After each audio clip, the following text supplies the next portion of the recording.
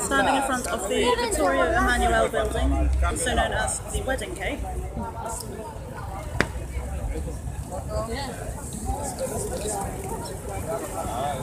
You can kind of see why it gets that name.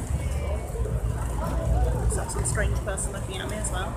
Bearing in mind that actually everyone here is taking photos and videos. Look.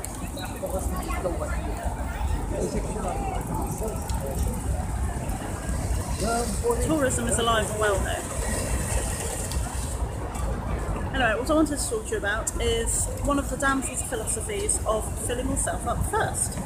So, uh, today we have been wandering around the Forum and Palatine Hill, and I no longer have any feet. My feet are absolutely killing me. My boyfriend, on the other hand, is still all happy to run about and that kind of thing. So rather than traipse after him, hating him with every step, and just getting more and more grouchy and uncomfortable, we went up to the restaurant that's in there,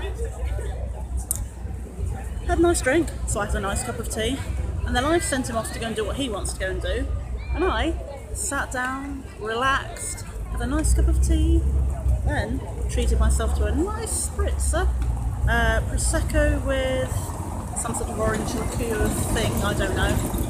Quite nice. Probably not the best thing when you haven't been drinking enough water all day, but hey.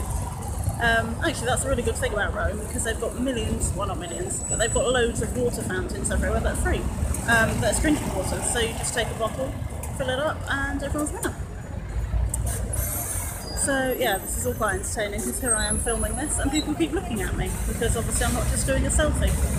Um, in fact, actually, that's one of the things that people are selling here. They're selling poles with holders for your phone on it. So when I came here two years ago, they were all selling the little mini tripods. I'm using one now. Um, now it's all the pole with the little phone holder on the end, so you can take a selfie. And that appears to be the, the new cultural thing.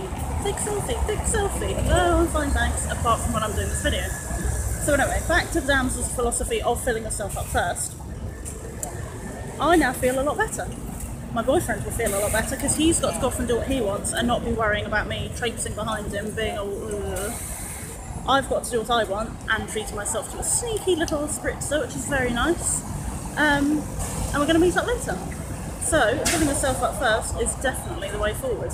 Obviously, it doesn't have to involve going for a drink each time. If you want to, then carry on. But I just thought I'd bring that to you. Just thought I'd share that with you. So, um, oh dear, I'm going to get run over by a bus. Should probably move, really. Uh, anyway, so this is the Vittorio Emanuele building, known as the Wedding Cake.